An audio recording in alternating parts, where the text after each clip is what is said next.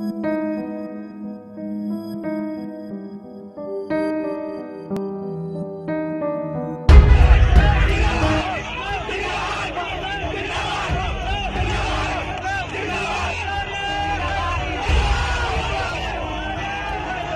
उत्तर प्रदेश में जहाँ पूर्ण बहुमत की सरकार एक बार फिर से दोबारा बनने जा रही है, बीजेपी के नेतृत्व में वहीं योगी आदित्यनाथ बाबा बुलडोजर का परचम लहर गया है।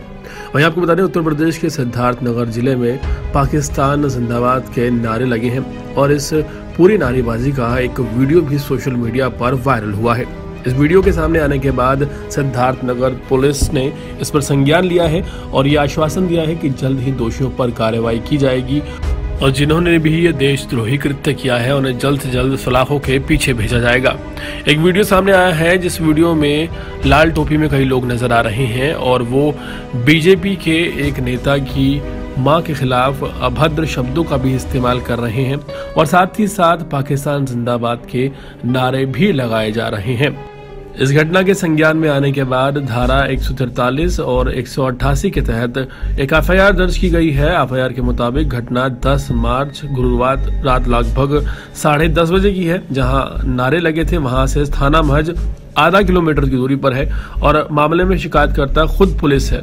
पुलिस ने जब इस बात का संज्ञान लिया तो पुलिस ने इस बात की एफआईआर दर्ज की और साथ ही साथ सैयदा खातून, जो कि प्रत्याशी है समाजवादी पार्टी की, उनके खिलाफ शिकायत दर्ज की।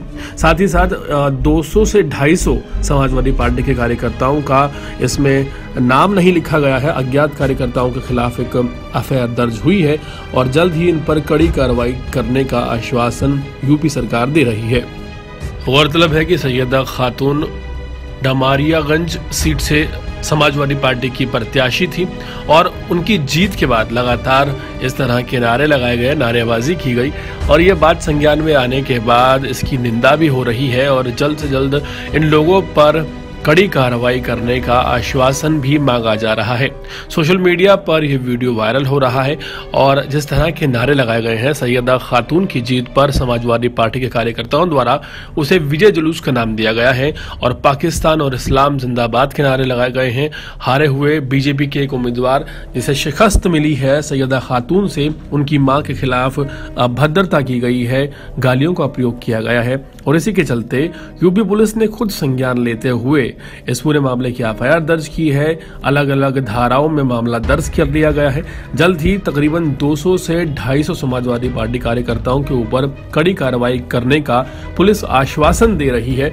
और साथ ही साथ ये भी कहा गया है कि जो प्रत्याशी है समाजवादी पार्टी की सैयदा खातून, उनके खिलाफ भी कड़ी कार्रवाई की मांग की गई है। और साथ ही साथ एफआईआर में मुख्य आरोपी सैयदा खातून को बताया गया है, जो कि सभा प्रत्याशी हैं।